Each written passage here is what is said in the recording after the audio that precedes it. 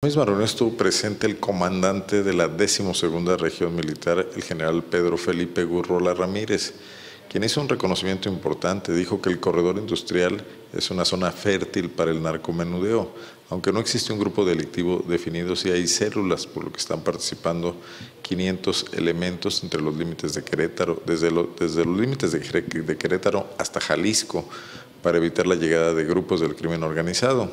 Grandes ciudades como León, Irapuato y Celaya, dijo el militar, son un mercado fértil para el narcomenudeo por la capacidad adquisitiva de sus habitantes y por el número de población. También dio a conocer que el, el pasado viernes se realizó un acuerdo de coordinación entre el ejército y el gobierno de Jalisco junto con Guanajuato para evitar que grupos delictivos de esa entidad puedan penetrar en León, en Irapuato, en el corredor industrial en general. Así lo dijo Pedro Felipe Gurrola, comandante de la decimosegunda región militar.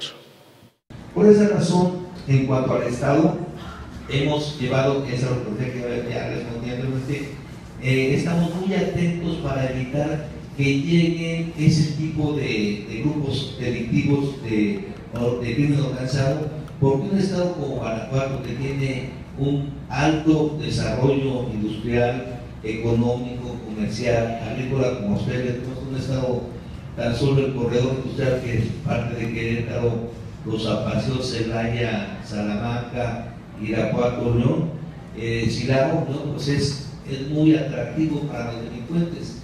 Las grandes ciudades como León, como Irapuato, como Celaya, son mercados fértiles, por ejemplo, para el narco.